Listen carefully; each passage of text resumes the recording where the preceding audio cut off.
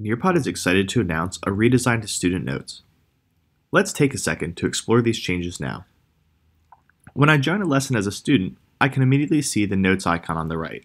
When I open the drawer, I see that I can save my notes in one of three ways to email, to Google Drive, and now to OneDrive as well.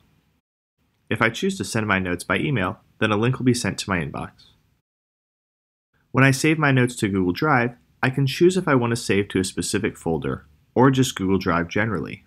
I don't have a folder in mind, so I'll just save to Google Drive. And now I can take notes.